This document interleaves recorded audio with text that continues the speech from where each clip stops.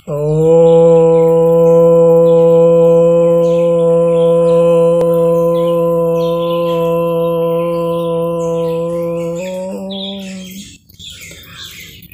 भक्तजनों को सप्रेम नमन। भक्तों आज एक बहुत महत्वपूर्ण विषय पर चर्चा करने जा रहा हूँ। और यह विषय है, विषय तो राजनीतिक है, लेकिन इसका धार्मिक सामाजिक, आर्थिक, वैज्ञानिक, हर चीज़ का पहलू है। आप सभी लोग जान रहे हैं कि विश्व में अभूतपूर्व घटनाएँ घटी है जो अफ़गानिस्तान में तालिबान का शासन आ गया है। वैसे तो अगर इस्लाम का इतिहास देखा जाए तो यह की विचारधारा के अनुरूप ही है। उनकी जो विचारधारा रही है कि जो गैर मुस्लिम हैं, उनके साथ सख्ती से पेश आया जाए, उनके पर जाति की जाए, उन्हें मारा पीटा जाए, उन्हें लूटा जाए, उनका सामूहिक बलात्कार हो, सामूहिक कत्लेआम हो, आगजनी हो, उनका जबरन धर्म परिवर्तन कराया जाए। और उनके विचारों से मिलते जुलते जो अन्य विचार वाले हैं, जो मुस्लिम ही क्यों ना हो, उनको भी मारा जाए और उनके साथ भी सख्ती से पेश आया जाए। यह इस्लाम का मूल विचार है। वहाँ पर राजनीतिक सत्ता इस्लाम को फैलाने के लिए दी गई है। यही कुरान का निर्देश है। यही जब तक मोहम्मद ज़िंदा रहे, उन्होंने यही किया। यही उनकी तरफ़ से निर्देश था सबको कि यही सभी को करना है। तो यह जो घटना घटी है, यह कोई अचंभे वाली घटना नहीं है इसीलिए। हाँ यह ज़रूर है कि जो सभ्य देश हैं या जो सभ्य देश होने का स्वांग कर रहे हैं, उन्हें अब कीमत चुकानी होगी। उनके सामने विकल्प खड़े हैं। इनसे समझौता कर लें या इनसे युद्ध के लिए तैयार रहें। वे युद्ध कोई ज़रूरी नहीं, हथियार से ही लड़े जाएँगे, कई तरीके से लड़े जाएँगे, आर्थिक रूप से भी लड़े जाएँगे, सामाजिक रूप से भी लड़े जाएँगे, बौद्धिक रूप से भी लड़े जाएँगे, कई तरीके से लड़े जाएँगे। लेकिन हर तरफ़ का जो परिणाम है, हर तरह के युद्ध जो आप लड़ेंगे, उसका अंतिम परिणाम तो मिलिट्री का जो भौतिक युद्ध होता है, वही होता है। उस युद्ध में ही जो जीतता है, वही जो वास्तव में जीतता है। बाकी युद्ध तो खैर दबाव बनाने के लिए होते हैं और आपको मिलिट्रली कमज़ोर करने के लिए होते हैं सैन्य रूप से। परंतु अंतिम जीत जो है, वह सैनिक ताकत ही फैसला करती है मिलिट्री की ताकत फैसला करती है। उसके सपोर्ट में चाहे जो भी अर्थ व्यवस्था आए या कोई भी व्यवस्था आ जाए। तो यह जो वैचारिक युद्ध जो मोहम्मद ने छेड़ा था, उस युद्ध का और उस विचारधारा का यह हम प्रस्फुटन देख रहे हैं। इससे होगा कुछ नहीं, बस इस्लाम की बर्बादी होगी। अंततः इस्लाम हाशिए पर जाएगा और मिलिट्री और हथियार तो वे जुटाएँगे। इधर उधर से अर्थव्यवस्था छिन्न भिन्न हो जाएगी तो उससे किसी तरह से जुटा लेंगे। लेकिन वह देश बर्बाद हो जाएगा। काफ़ी पिछड़ जाएगा। जितने मुस्लिम देश हैं, सभी इसीलिए पिछड़ रहे हैं, क्योंकि कुरान को मानने वाले कभी वैज्ञानिक दृष्टिकोण से आगे नहीं जा सकते, क्योंकि वहाँ पर विज्ञान विरोधी बातें हैं सब। और उसको मानने के लिए वहाँ मजबूर किया जाता है, नहीं मानने वाले को मारा पीटा जाता है। तो इस लिहाज से अगर हम देखेंगे तो पाएँगे कि जो इन बातों को सख्ती से लागू करने के लिए तैयार है, उन्हीं को इस्लाम समर्थन देता है। वहाँ आतंकवादी जो है एक हीरो है। आतंकवादी संगठन हीरो होते हैं। इसीलिए आप देखेंगे कि तालिबान की आलोचना करने वाले मुस्लिम भी नहीं होंगे खुले मंच से। कोई मुस्लिम राष्ट्र आलोचना भी नहीं करेगा। ना आज तक कभी किया है किसी भी आतंकवादी संगठन का, ना आगे कभी करेंगे। क्योंकि इसका अर्थ हो जाएगा कि वे काफिर हो जाएँगे। इसका अर्थ हो जाएगा कि सबसे पहले जिहाद उन्हीं के खिलाफ छेड़ा जाएगा। तो ज़ाहिर सी बात है कि वे आलोचना नहीं करेंगे, बल्कि समर्थन देंगे। वहाँ पर उनको हीरो बनाया जाएगा। परंतु ये हीरो जो हैं ये घोड़े और तलवार भाले का ज़माना नहीं है। अधिक से अधिक बेहतर टेक्नोलॉजी होनी चाहिए, उनका ज़माना है। तो आने वाले समय में देखेंगे कि इनकी जो है बहुत बुरी गति होगी।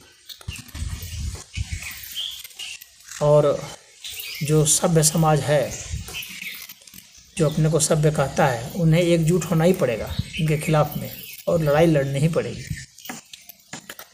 अफ़गानिस्तान एक ऐसा देश रहा है, जो आर्थिक रूप से बहुत संपन्न कभी नहीं रहा। वहाँ संसाधन बहुत नहीं है, इसीलिए कोई देश बहुत लंबे समय तक वहाँ कब्जा करने की नीयत से गया भी नहीं, रह भी नहीं सकता, क्योंकि वहाँ पर जो लागत वो लगाएगा, उससे कम रिटर्न पाएगा। तो ज़ाहिर सी बात है, ज़्यादा लंबे समय तक नहीं रह सकता, उसे वहाँ भागना ही पड़ेगा। तो अमेरिका भी वहाँ से भागा, बीस वर्ष बाद। इसके पहले रूस भी था भी भाग गया। कुछ कुछ समय तक अंग्रेज़ों ने भी शासन किया।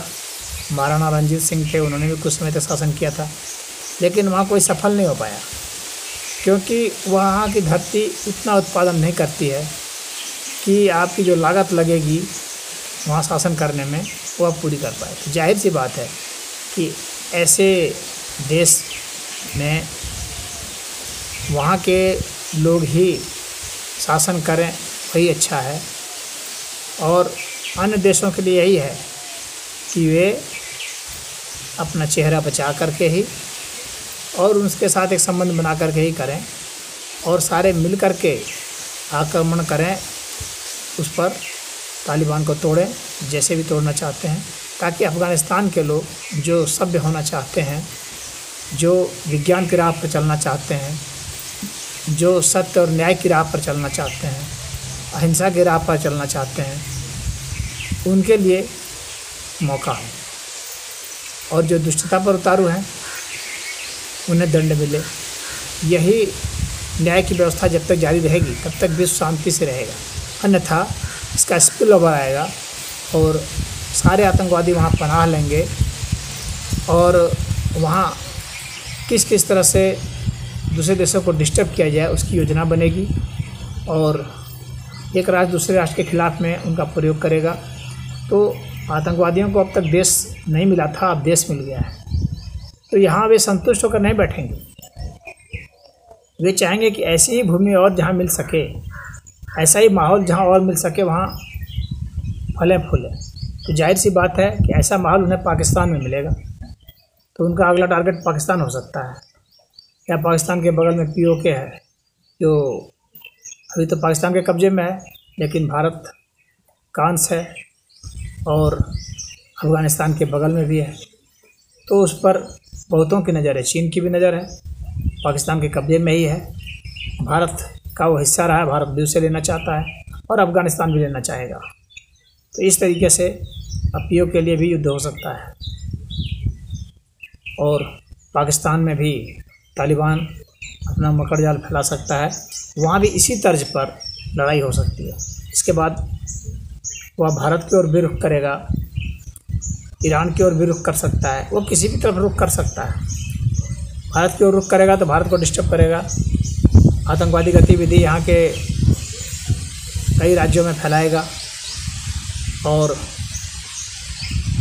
जो जो राजनीतिक पार्टियाँ भारत में मुस्लिम वोटों पर निर्भर हैं, वे तालिबानी स्टाइल में ही काम करना शुरू कर देंगे। और यहाँ के उस तरह से गुंडे टाइप के जो एलिमेंट है, मुस्लिम, उनको छूट देने की कोशिश होगी और वे गुंडे अत्याचार करेंगे। तो यह भारत में आने वाले समय में बहुत मुसीबत का कारण बनेगा। इसके अलावा विश्व के अन्य देशों में भी यही काम होंगे। तो जो लव जिहाद है, लैंड जिहाद है, तमाम तरह के जो जिहाद हैं, धर्मांतरण का है, उसको भी जारी रखेंगे और उसको और बढ़ावा देंगे और जो विरोध में बोलेगा, उसे मार भी देंगे। तो भय का संचार करेंगे पूरे विश्व में। अब विश्व को कैसे निपटना है, उससे ये विश्व को सोचना पड़ेगा। अन्यथा तालिबान जैसे और भी कई संगठन जैसे हमास हैं, और भी हैं, वे भी उठ खड़े होंगे आश्चर्य की बात है कि कोई भी मुल्क, जो इस्लामिक मुल्क है, वह इनके खिलाफ़ में नहीं बोल रहा है। और आश्चर्य की बात इसलिए है क्योंकि वे मानवाधिकार की बात भी करते हैं, जहाँ मुस्लिम को प्रताड़ित किया जाता है। लेकिन जहाँ पर वैसे मुस्लिम जो प्रगतिवादी हैं, उनके पर अत्याचार होता है, मुस्लिमों के ही द्वारा, जो कि कट्टरवादी हैं, वहाँ पर उनका मानवाधिकार हनन नहीं होता है। वहाँ वे उसकी बात नहीं करते। हैं या जब मुस्लिम, गैर मुस्लिमों पर अत्याचार करते हैं, वहाँ वे मानवाधिकार की बात नहीं करते हैं। यह उनकी परंपरा रही है ये उनकी सोच रही है और आगे बढ़ने का तरीका रहा है। अपनी आबादी को बढ़ाने का, अपने शत्रुओं के खिलाफ सख्ती बरतने का यह उनकी शुरू से परंपरा रही है यह उन्हें निर्देश दिया जाता है, लगातार शुरू से पढ़ाया जाता है, रोज़ पढ़ाया जाता है, स्कूलों में पढ़ाया जाता है, मदरसे में पढ़ाया जाता है। उनके ग्रंथों में लिखा है, हदीसों में ये सब सारी बातें लिखी हैं, कुरान में भी लिखी गई है कि सख्ती बरतो, अपने अड़ोसियों पर, पड़ोसियों पर जो गैर मुस्लिम हैं, उन पर सख्ती बरतो। जो इस्लाम से हटना चाहते हैं, उनको जान से मार दो। उनके खिलाफ़ सख्ती से पेश आओ, उन्हें मार दो, पीट दो, लूट लो, इस तरह की बातें कुरान में भी बताई गई है। तो ज़ाहिर सी बात है, कुरान को मानने वाले तो इन रास्तों पर ही चलेंगे। आप देख रहे होंगे, तालिबान जो लड़ाके हैं, उनके ड्रेस को आप देखिए। वे पुराने उसी ज़माने के मालूम पड़ेंगे आपको। वैसी दाढ़ी, वैसे टर्बन, वैसे ही कुर्ता पजामा उसी तरह से पहना हुआ, सब कुछ उनका उसी तरह आँखों में सुरमा लगाकर, उसी तरह से ढीले ढाले वस्त्र पहनकर, हाथ में हथियार लेकर के औरतों के ऊपर जुल्म करना। तमाम औरतों के ऊपर जुल्म कर रहे हैं, औरतों को पढ़ने नहीं देना, उन्हें आज़ादी नहीं देना, उन्हें हंसने नाचने गाने नहीं देना, नौकरी नहीं करने देना। इस तरह की बातें वे कर रहे हैं। तो वे कर रहे हैं तो ऐसा नहीं है कि वे सिर्फ़ उतने ही भर्त करेंगे। वे चाहते हैं कि इस चीज़ को पूरी दुनिया में फैला दें। तो दुनिया के सभी लोगों को डरना चाहिए और सभी लोगों का एकजुट होकर के इसका विरोध भी करना चाहिए। हर स्तर पर, जो जहाँ जैस, जिस हालत में है, उसको वहाँ से वैसा ही विरोध करना चाहिए। जो व्यक्तिगत कर सकते हैं, व्यक्तिगत करें, जो संगठनात्मक कर सकते हैं, संगठनात्मक करें। जो राष्ट्र के रूप में कर सकते हैं, राष्ट्र के रूप में करें। और यदि ऐसा नहीं करते हैं तो इसका अर्थ यह हो जाएगा कि आने वाले समय में उनको बल ही मिलने वाला है। तालिबानी जैसी शक्तियों को। तो आने वाले समय में जो युद्ध होगा, वह बहुत बड़ा युद्ध हो जाएगा और वो धर्म के नाम पर ही युद्ध होगा। इस विचारधारा के नाम पर युद्ध होगा। तो कट्टरपंथी इस्लामी विचारधारा जो है, उसके खिलाफ में जो प्रगतिवादी सोच के लोग हैं, उनका युद्ध होगा और यह एक बहुत बड़ा परिवर्तन होगा। और यहाँ जो बीज है, तालिबान ने बो दी है। यदि वह पाकिस्तान में कब्जा कर लेता है तो उसके हाथ में परमाणु बम भी लग जाएँगे एयरफोर्स भी लग जाएगी और नेवी भी उसके हाथ में हो जाएगी। जिस तरह से कम्युनिस्ट पार्टी कई देशों में फैली है, उसी तरह से तालिबान भी कई देशों में फैलना चाहेगा। और कुरान का स्टाइल भी यही है, हदीस का स्टाइल भी यही है। चुनी हुई सरकार का वहाँ कोई बहुत मतलब नहीं होता है।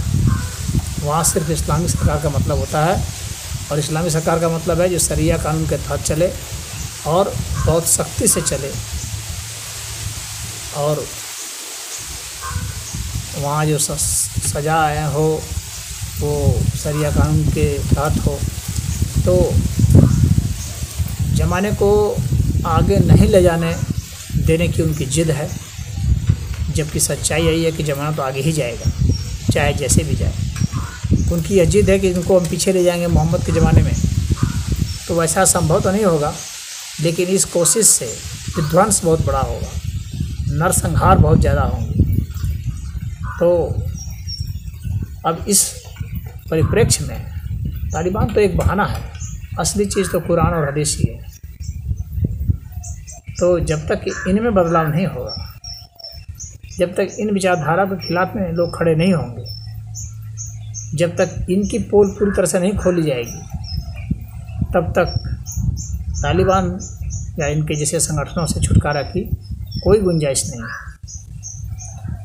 यह सबको अच्छी तरह समझ लेना चाहिए। और जो छोटे छोटे अपने क्षुद्र हित साधने में लगे हैं, उन्हें आज नहीं तो कल अपने उन्हीं साधनों छोटे छोटे जो साधन वे चाह रहे हैं कि हम बढ़ जाएँ छोटे छोटे लाभ के लिए जो प्रयास कर रहे हैं उन्हें बहुत भारी कीमत चुकानी पड़ेगी। अगर एक हज़ार रुपया कमाएँगे तो पचास हज़ार रुपया डूब जाएगा। आज जिन लोग, आज जो भारत के व्यापारी जिन लोगों ने अफ़गानिस्तान में पैसे लगाए थे, करोड़ों रुपये डूब गए उनके। तो जो थोड़े बहुत लाभ कमाए थे तो डूब गए। अब वे बैठ के रो रहे होंगे। इस तरह से जितने भी जो पैसे लगाए थे, वे सब डूब गए और डूब जाने हैं। क्योंकि आपको याद रखना होगा, इस्लाम के सिद्धांत को याद रखना होगा। किसी भी मुस्लिम कंट्री में यदि आप इन्वेस्टमेंट करते हैं तो आपको समझना पड़ेगा कि वहाँ इस्लामिक लॉ है और इस्लामिक लॉ के तहत जो गैर मुस्लिम हैं, उनकी संपत्ति कभी भी जब्त की जा सकती है। वो उनकी ही संपत्ति है, अल्लाह ने उनको उन्हीं के लिए दिया है। ऐसा भी मान कर चलते हैं। तो जो इन्वेस्टर हैं, उन्हें इस बात को समझना पड़ेगा। अमेरिका ने खरबों डॉलर खर्च किए वहाँ पर। इतने समय में आखिर उसको क्या मिला? कुछ भी नहीं मिला। अंत में भागना भी पड़ा। रसवाई भी हुई। हर जगह जो है बेज्जत भी हो रहा है। तो ऐसी जगह टांग अड़ाने से कुछ फ़ायदा नहीं होगा। वहाँ पर कोई संसाधन भी नहीं है। जहाँ पर तेल वगैरह है, वहाँ तो बात समझ में आती है कि आप कुछ तेल भी निकाल लेंगे। वहाँ से आप कुछ नहीं निकाल सकते। तो ऐसे ऐसे देशों में आप पैसे लगाएँगे तो आपके पैसे डूब जाने हैं। चाहे रसिया के डूबे हों, चाहे अमेरिका के, चाहे भारत के व्यापारियों के, वो डूबेंगे। तो भारत सरकार ने जो वहाँ पर धन लगाए, अब उन्हें कैसे बचाया जाए, उसका उद्यम करेंगे, समझौता करेंगे।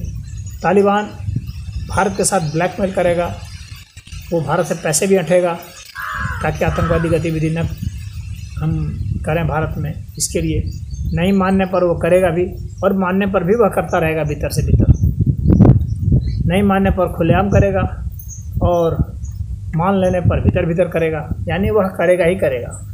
ये आपको मान के चलना होगा। क्यों? क्योंकि वही निर्देश है कुरान का। तो किसी भी तरह के डीलिंग के लिए आपको पहले कुरान का अध्ययन करना पड़ेगा। हदीसों का अध्ययन करना पड़ेगा। क्योंकि वे ही उसके रोल मॉडल हैं। तो अब वे अफ़गानिस्तान में औरतों की, लड़कियों की लिस्ट मांग रहे हैं जो विधवा हो गई है, उनके साथ अब गैंग रेप जैसी बातें होंगी।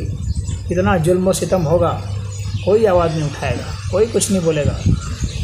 तो इस तरह की बातें अन्य देशों में भी फैलेंगी।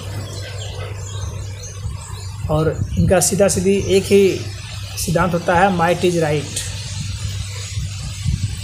जो शक्ति है, वही सही है।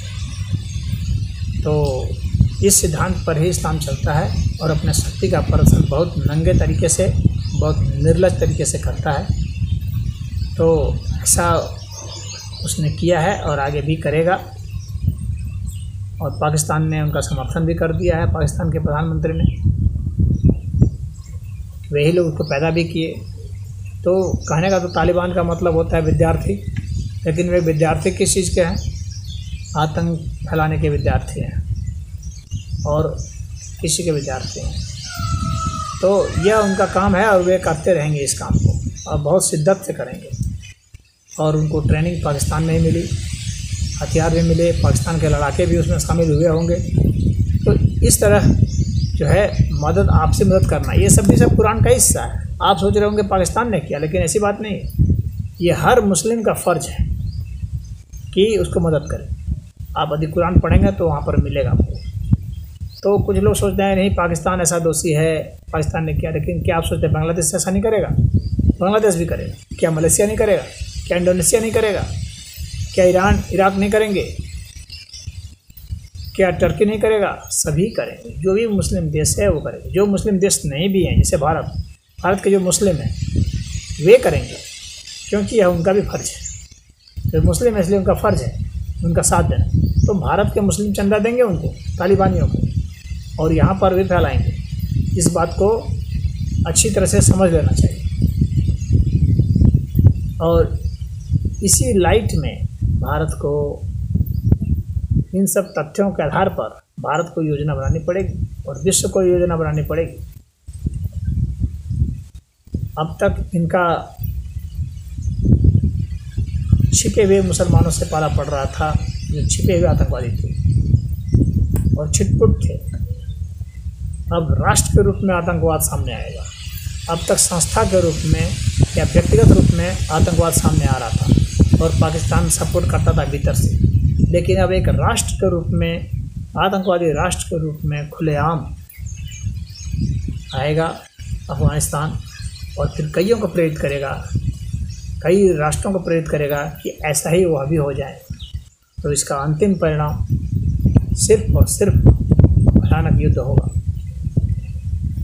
यह डराने के लिए नहीं है, बल्कि यह आपको सच्चाई बताने के लिए है कि जब तक कुरान रहेगा, तब तक यह रहेगा। क्योंकि इन सब का जो आधार है, वह ग्रंथ है, न कि तालिबान अपने आप में। तो आज इतना ही, ओम।